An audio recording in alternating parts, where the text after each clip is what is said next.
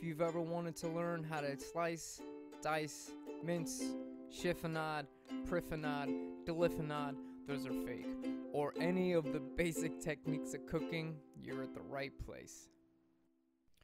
Welcome back, my breakers and breakettes. Today we're going to do a large carrot dice. We'll do smaller ones down the road, but this is a basic way to dice one carrot.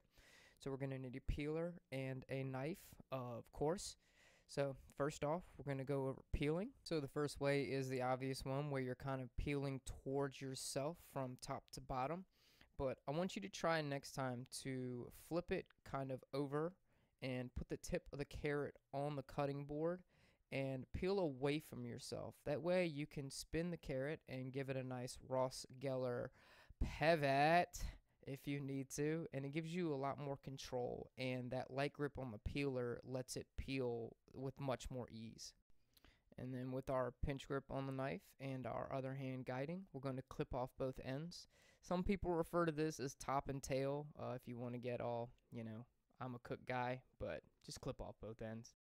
And with the pinch grip, again, between our thumb and index finger, rest of the fingers with a light grip on the handle, our other hand guiding.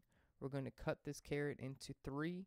You might want to try four because the next part might be a little more daunting if they're bigger pieces. And I do apologize in advance. In hindsight, I didn't think about doing one chopped on its side because I feel a lot more comfortable, especially with big dices, doing it from top to bottom like this. So in a future video, I'm going to do a much finer dice on a carrot um, where we'll do it horizontally or on its side. I don't know the correct term when it comes to carrots. What's what's uh, horizontal on its side. With the tip end, I did kind of do that. So we just want to lay it on its side and run the knife the length of the carrot in half. But again, we'll go over more advanced cuts uh, down the road. And so again, pinch grip between thumb and index, like grip with the rest of your fingers. Your other hand guiding it keeping your thumb behind and curling your fingers on your non-knife hand, you're going to guide that knife through. And so what we're doing is we're trying to chop all these into the similar size so when they cook, they cook evenly and if you're using it in a presentation sense, they look good is the best way. They look the goodest they can be. So uh, you want them to look similar so they can cook similar and again look similar.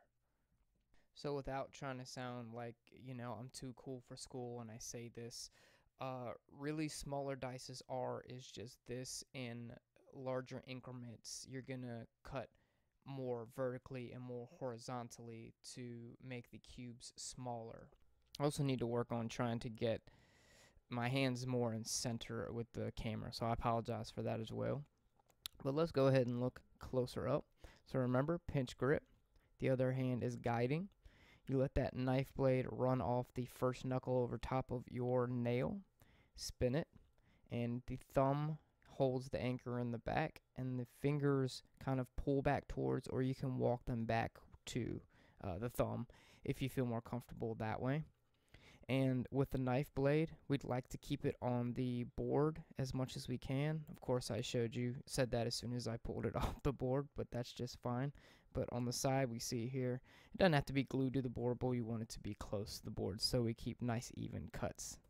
And so that has been Large Dice Carrot. Thank you for joining me. I uh, hope you have a good day, afternoon, evening, or wherever you are.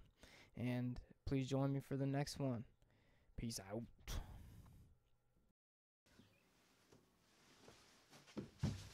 Thanks for watching. If you like this video, there's more over here. Don't forget, don't forget to subscribe.